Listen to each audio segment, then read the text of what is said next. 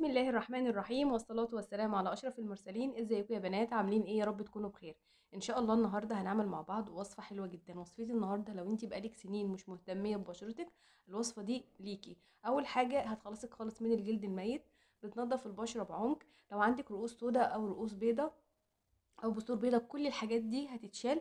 ده غير إن هي كمان لو عندك شعر وبري بتخلصك منه بتفتح لون البشرة وبتوحد لون البشرة. يلا بينا نبدأ ونشوف أول مكون معانا أول مكون يا بنات هتروحي عند العطار وتقولي له أنا عايزة جيلاتين نباتي هيديكي شوية كده حلوين بعشرة جنيه. تاخدي كده معلقة من الجيلاتين.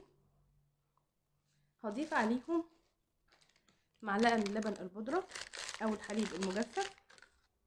زي ما إحنا شايفين كده.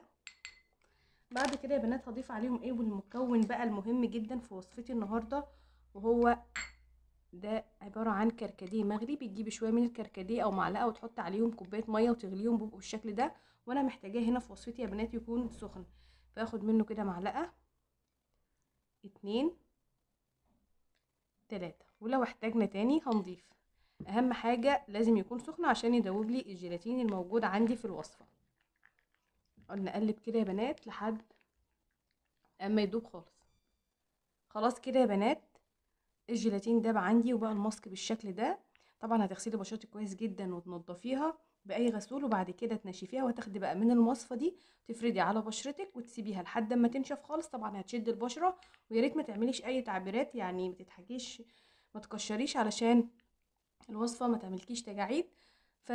فتفضلي كده ثابتة بال reaction بتاعك وبعد كده هتاخدي بقى الوصفة بقولك تدهنيها وتسيبيها لما تنشف وبعد كده هتشيليها من على بشرتك ويا ريت تكون يعني تقلي الماسك علشان تقدري تشيليه بسهولة.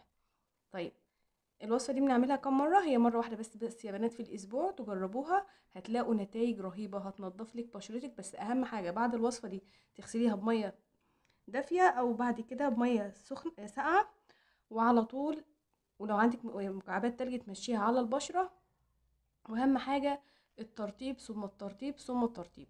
الوصفة حلوة يا بنات جربوها بتمنى تنال إعجابكم. واكتبوا رأيكم في الكومنتات. أشوفكم إن شاء الله على خير في فيديوهات جديدة. بس أهم حاجة ما تنسيش تدعميني باللايك. أشوفكم على خير والسلام عليكم.